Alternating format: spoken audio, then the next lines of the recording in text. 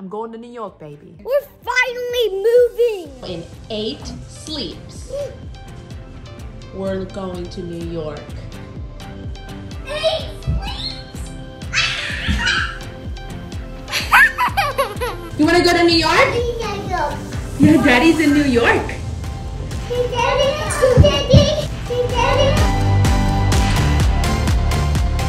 Okay, so you heard the kids. We are, in fact, finally scheduled to move to New York. Now, it has been the most complicated, honestly, horrific journey the last five months. Oh, and hold on. This whole time, Quinn and I are agonizing over every decision we've made because you know, at every turn, we have no idea if it's been the right one. But I'm genuinely dying to know at what points you might have made the, same decision or a different decision, or you might have seen something we hadn't in the moment. Okay, so back mid-March, you know that Quinn was finishing up his last year of medical school. In March is the match. So he ended up applying in orthopedic surgery, which he still wants to pursue, um, but he ended up matching in general surgery. And so of course, the very first thing we started doing is looking for a house. Honestly, not too long after we started looking, we really found a house that would be a good fit. The commute was really reasonable to Quinn's work. It had a really phenomenal dual language Spanish immersion program, which I feel so passionately um, about giving that opportunity to our kids. And of course, that was a really, really nice perk for this house, but it was also in a really wonderful neighborhood. So we put in an offer on this house. Uh, they accepted it. Right away, they were really, really aggressive about a very fast closing. And we kept getting like these threats from our realtor saying like, if you don't sign this contract today, we're gonna pull out and we're gonna go to the next buyer. And we finally get the contract signed and sent over to them and that night the seller dies. It's like, in what universe does this actually happen? But our realtor kept telling us like the death isn't official until the death certificate is recorded. If you can get the new contract re-signed and sent back over before the death certificate is recorded, then it will be grandfathered in and we won't have to wait for the house to go into the probate process. So we hustled our bustle and got all of our ducks in a row and the house still went into the probate process. Even though it went into probate, we kept being reassured again and again. Our attorney assured our realtor that the paperwork would only take six to eight weeks to complete. Uh, there's nothing to worry about whatsoever, not a problem. So like, maybe we should have known better. Anyway, so we're getting ready to move across the country. So we sold everything. I mean, kids' beds, the kitchen table, the couch. You should have seen our house. It was wild and crazy. And we had camping chairs and, and folding tables and the kids were eating dinner on baskets turned upside down. So then May begins to roll around. And in the back of our minds this whole time, we knew that our contract said that closing date would be on or about May 15th. And we haven't heard anything from our attorneys. We're supposed to be moving 3,000 miles away with four kids, four and under in like two weeks and we've heard nothing. So we spend a couple days trying to get a clear answer to finally be told that there is absolutely no way we would be closing in two weeks. This was the first time that someone had shot down the idea of this house like working out. So June comes along and we had made a plan that I would go to Washington with the kids and we would crash with my parents. So mid-June comes and we're trying to move out of our Boise house, which ended up being a whole lot harder than we thought it was gonna be. We thought we were so mentally prepared because we'd been talking about it forever. But when it came to like walking through the house there at the end and looking back at it for the last time and hugging our friends goodbye, I mean, our friends and neighbors literally carried us there at the end. And then just looking back at like really our first family home, like three of our kids were born there, getting Quinn through medical school. That was a lot. And it was like, wow, we have gone through a lot in this house. Anyway, that was just a side note. You gotta do what you gotta do. So, Father's Day weekend, we had been packed up and we drove to Vancouver. We unloaded the U-Haul that night into my parents' garage. It was so late and we were so exhausted, but the next morning Quinn got up got on an airplane, and he flew to New York. Luckily, Quinn was able to find a room with someone that he could stay with until our housing situation was figured out. Then just a few days later, he started his residency and can I just tell you what a stud of a doctor Quinn is? There were several times the first week that he was given a chance to demonstrate his skill or his knowledge or to teach someone, just given the chance to shine.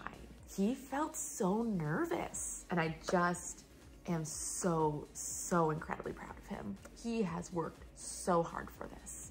I've always known that he's he's got it, but it's nice to see that brightness and that confidence come back to him. So his residency program is a wonderful fit for him. Okay, so he starts his residency program, July starts to roll around, and he's doing his thing there, and I'm doing my thing 3,000 miles away with the four kids, and just the month goes on, and we're getting a whole lot of nothing. After two months, nothing. So as you can imagine, we're feeling antsy and anxious about it. Quinn's done biking to work every day to come home to someone else's house while his family is on the other side of the country. And of course, I'm sending him videos this whole time of the kids and, you know, Nelson starting to crawl and babble his first mama and dada.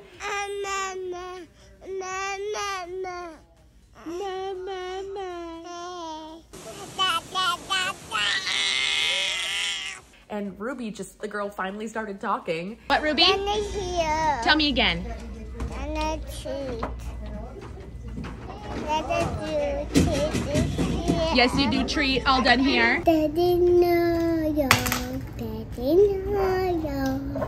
And then the big kids and all of their fun summer adventures. I mean, so many sweet moments for all of the kids. Look at look big orcas are. Look at how big these orcas are.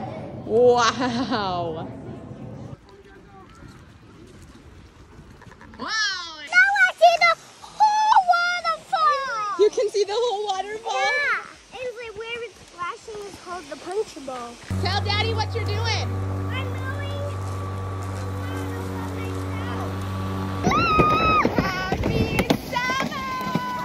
Meanwhile, he's FaceTiming the kids and showing them the skyscrapers and his hospital and That's it. Right there is a skyscraper.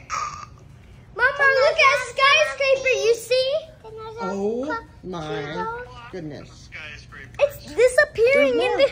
It's disappearing in. The, they're disappearing in the clouds. we're FaceTiming him while we're at the beach and showing him us flying kites or at wild waves, playing in the water. We're doing the very best we can to stay connected. Well, now the beginning of August rolls around and even though Christian's only four, in the state of New York, you go to kindergarten if you turn five before December 1st. So he's starting school in less than a month and we've still heard nothing. Now we're entering the period uh, where we should be starting to create a rental agreement with the sellers. So we contact our attorney to contact their attorney to get in touch with the sellers so we can start this rental agreement. All the while, we've sent several emails to our attorney and haven't heard from them in over two weeks. We're irking over here and now we're in this period and we're like, let's get to New York, baby. Let's get this show on our road. We are ready, so ready to get back together. Well, a few days go by and we're really starting to feel nervous. And Quinn's talking about our mess of a situation with his coworkers and he's encouraged to talk to one of the higher up dudes at the hospital who may be able to pull some strings. So right now Quinn's working night shifts. So he gets off of work and he calls me and he tells me that and he goes to sleep. So then while he's sleeping, my phone rings and it's the sellers and they're calling to get started on a rental agreement. I mean, hallelujah. Thank the Lord. Well, in the conversation with the sellers, it turns out that the reason our house is still stuck in the probate process, there is a stepsister involved in the will, which in the beginning we were told would have absolutely nothing to do with the will and it would 100% not be a problem. Apparently this girl does have some say in the matter. Nobody knows who she is. And apparently nobody in this family got along. And so nobody even knows how to find this girl. So every single time the seller asks his attorney, How much longer? He says three months because they can't find this girl. If that doesn't sound like bad news, I don't know what does. Regardless of all that happening with the sale of the house, the seller is willing to draw up a rental agreement for market value of another comparable property. There's just no way there's no way we could afford that. And we told them that. We told them that, like plain and simple. All the while, I tell Quinn the things, and when he gets to work, he is bombarded with emails and people that are all like, go talk to the guy, go call the guy. Whoever the guy is, the guy really wants to talk to Quinn. So Quinn finishes his shift and he calls the guy. And the guy got us a home. So that morning, we had nowhere to live. And by the next morning, we had two places to live. And it didn't matter which one worked out. We were just completely overwhelmed with relief. Our family would have somewhere to be together. Okay, so you're almost caught up, okay? You're almost caught up. No matter which one ends up working out, the house or the apartment, we have somewhere to go. So since we have somewhere to go, guess what we did? We started making plans. So immediately we scheduled um, for some movers to pick up all of our stuff to get it to New York. So I've been packing that stuff up for the last two or three days and I'm so exhausted. So we scheduled for someone to come pick up my car um, and transport it over to New York. And then one week from today, we are leaving for New York. We're gonna be together. We're gonna be done with this crazy phase and situation. And we will be together. Those kids will have their dad back. Good Lanta. This last year, they have been without him for six months. Half of this last year. Gone. And we're over it. We're over it. I think I took like the first sigh of relief and like danced with Nelson in the garage for the first time today in too long. And I am just so excited. Coming to an end. Anyway, I mean, that's really the whole thing, the whole shebang, the whole mess of what it is. But I don't even care right now because when one week from today, I'm gonna be in New York. I'm going to New York, baby. How's my accent? You think I'm gonna make it in New York? I think we're gonna do fine. I'm still really curious if you haven't told me yet where you would have chosen something different or maybe you would have made the same calls. That is a wrap for today. You know we'll have another update for you soon. We'll probably be on Instagram. So check for an update there at Carnahan Fam. Thank you for joining us, caring about our crazy story enough to watch all the way to the end, and we will see you again next time.